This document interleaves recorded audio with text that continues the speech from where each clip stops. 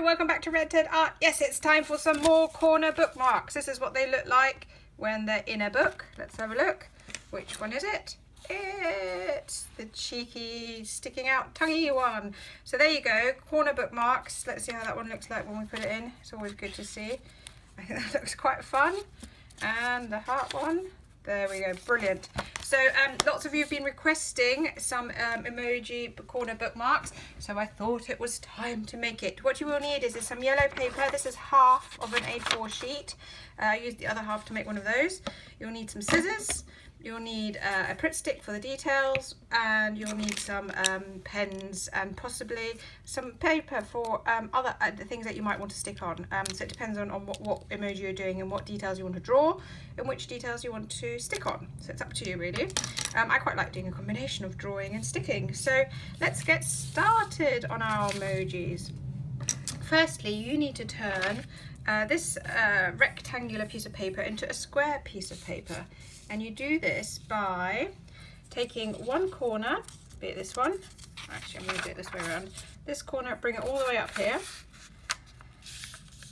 Now, and this is basically your basic, uh, oh, sorry, you also need a glass and a pencil. You'll see why in a minute. Um, this is your basic emoji, but we're going to make some amendments. So do watch it all because it's quite important that you see them. Otherwise, it's all going to fall apart and not work. So I've, I've brought the triangle up uh, which means that when you open it up, you have a square piece of paper. Now the dimensions aren't important, okay, as long as it's square.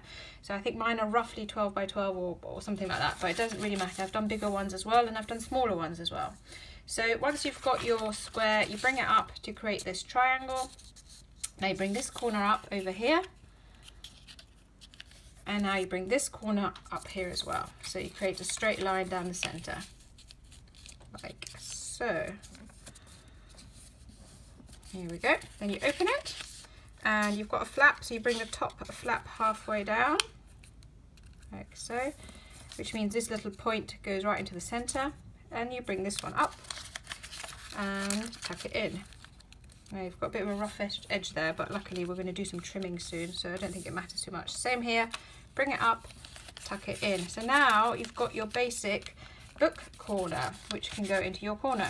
But because we're going to be doing some cutting, I actually want to stick this down just to give it a bit more stability. So I've opened it up once I've had all the, um, so, that, so I've got all the lines in place and add a really generous amount of, um, you know, Pritt stick or, or glue stick, whatever one you'd prefer using.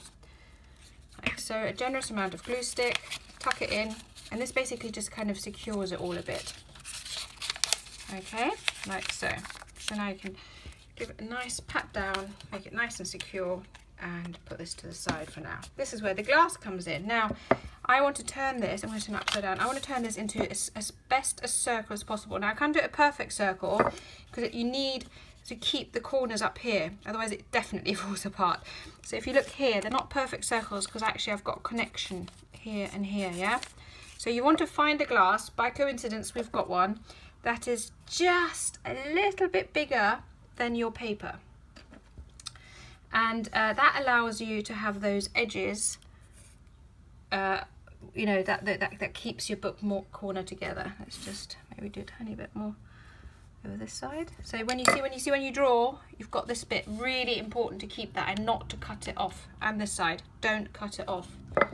So now I'm going to trim it. It doesn't matter on the bottom because here this side is where the, um, you know, that, that's just the, the, the, the bit that gets tucked in, but the top, you have to keep it, otherwise you have a bookmark that falls apart. So they're not actually perfect circles, but they're as close as perfect as you need. And like I say, here you can round it off a bit if you want. It doesn't matter so much. So here, you've got your bookmark shape. Actually, I might just trim it tiny a bit because it's not it's a bit too big, but you know, it's still got this edge and the edge is really important. So today I'm going to do the kissing emoji. Did a little drawing here beforehand so I could remember how to do it.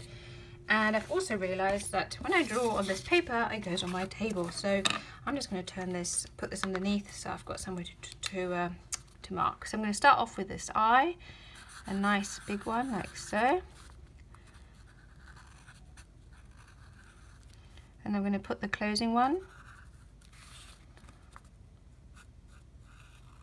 like so. Add a little eyebrow. Add a little eyebrow. Now I need to do the kiss. Like so. And I've already prepared a heart. With this one I decided to do a little outline because I thought I don't know it would be nice.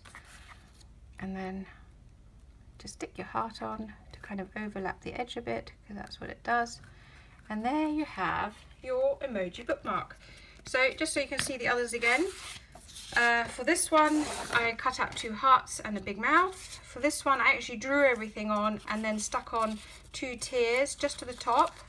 And same with this one I cut out an eye with the black line I thought it'd give it a bit better better effect and then I also stuck out stuck on a tongue but the rest was all coloured in with pencils with pens and pencils. So I think these are really quite fun I think they're quite effective. Hopefully you like them too. Remember we've got tons of bookmarks here on Red Ted Art. We've also got other emoji crafts. I'm going to link things below in the comments and also I'm going to put iCards in up here. Do check them out because I think you'll really really like them. And um, you know the other bookmarks are things like Ninja Turtles, Darth Vader, normal turtles, all sorts, minions, got tons and tons, Angry Birds, uh, really lovely lovely lovely bookmarks that I think you'd enjoy. So check out the channel, have a good browse, subscribe, leave me a comment and see you again soon. Bye.